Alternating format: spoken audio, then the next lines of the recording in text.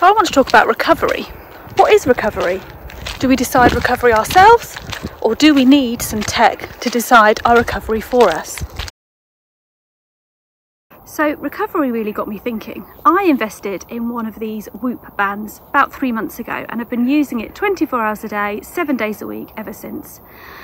One of its main functions is looking at what has happened to your body your heart rate, your heart rate variability, your resting heart rate, your respiratory rate, and the strain that you've taken each day.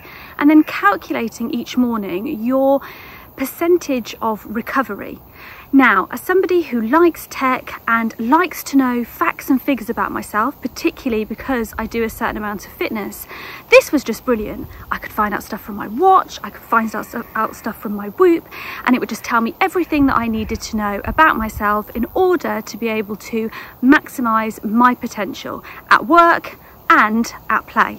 And to begin with, I've got to say, I absolutely loved it. My husband has got one too, so we would compare our recovery rates, we'd compare how many hours sleep we'd had, how many times we'd been awake during the night.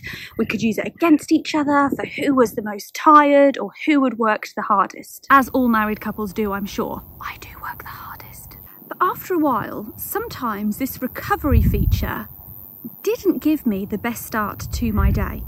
You see, depending on how recovered you are, you are given a percentage score and that either sits in the red for bad, the amber for you did okay to the green, you are hitting your goals. And I guess what you're meant to do with that information is if you aren't so recovered, you have not got the ability to add so much strain to your day and you should perhaps be in a little bit more recovery mode to increase that number for another day so that your strain is able to be higher. Or, for example, you would be able to perform better. So to begin with, I've got to be honest, this recovery absolutely dictated how well I thought I was able to strain or be physically active for that day. So I'd go out and do a run, I'd feel really energetic, I'd be smashing my pace, smashing my targets, but I think, well, I can do that because I had a green recovery this morning. And then there'd be other times where I'd feel like I was, you know, running really well and I couldn't understand it because I had a amber recovery and none of that really made any sense. Sometimes I'd even feel pretty good, see that I had an amber recovery, and then not perform very well because I'd been told that I wasn't very recovered and that I wasn't able to perform that day.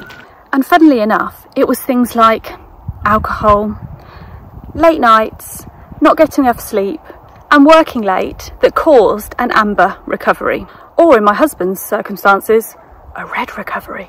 So then I started to consider was my Whoop telling me anything that I didn't already know? Funnily enough, I know if I don't get enough sleep, have a late night, work late, or drink alcohol, I don't feel as good the next morning as I do if I haven't done those things. And so having something tell me I wasn't recovered was that now impacting my recovery and impacting my ability to be productive the next day because I've been told I wasn't going to be very productive that day. Also, sometimes I don't have much choice as to whether I'm productive or not. Whoop might tell me that I wasn't able to complete a lot of strain in a day. But I am training for a half marathon at the moment and I am sticking to a very rigid training plan. So if I've got mile repeats to produce on that morning, but Whoop's telling me, you're not really recovered, don't bother having any strain, I haven't really got the choice. So sometimes having that knowledge didn't really alter what I was going to do that day or not. It probably just might have put me in a negative mindset. And that's the last thing you need when you're training for a half marathon. Don't get me wrong, if you are or if I was an elite athlete, I can absolutely see how this rate of recovery and rate of strain could really build into your training plan. It would be monitored by professionals and dietitians and coaches, and they would be able to tailor what you need for your training around what your recovery rate is, is saying. However, as much as I like to think I am an elite athlete, I am not. I am your everyday full-time worker who likes to exercise. And so as much as I hate to say it, I'm afraid me and the Whoop are parting company. I have enjoyed getting to know myself better, But having thought about it for the last few weeks, I don't think it's told me anything that I don't already know. I am very good at listening to my body. I know if I've slept well. I know if I haven't slept well, I don't need something to tell me that.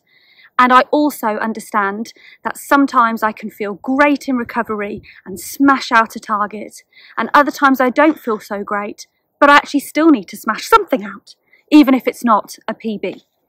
And so I've enjoyed my time with Whoop. I've understood my body a little better, but I've also just understood that waking up, seeing how I feel, smelling the air and looking outside is probably as much as I need to know to make sure that I'm hitting my targets and my goals and feeling good at the same time. So while I now try to get rid of a second tan line that I've given myself this summer, please let me know how your experiences have been with using technology and understanding your rate of recovery and your ability to push yourself. It's really interesting to know lots about ourselves, but is there something like knowing too much? It's a fine line and there's grey areas. So I'd love to hear what your views are. Please leave comments in the um, link below and I will look forward to seeing you on the next video. If you haven't already, please smash a thumbs up and subscribe.